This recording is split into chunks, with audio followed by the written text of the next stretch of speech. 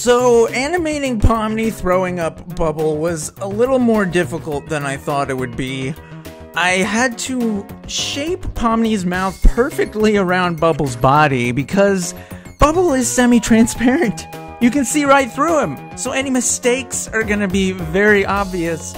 So I essentially had to twist and bend and morph poor Pomni's facial features into painful contortions until Bubble could just slip right out of there.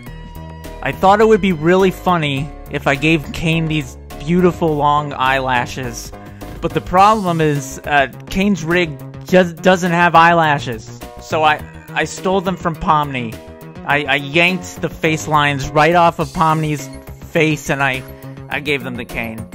It's beautiful. The funny thing about this scene is that Caine's eyes were just supposed to pop out of his head, and, and that's it.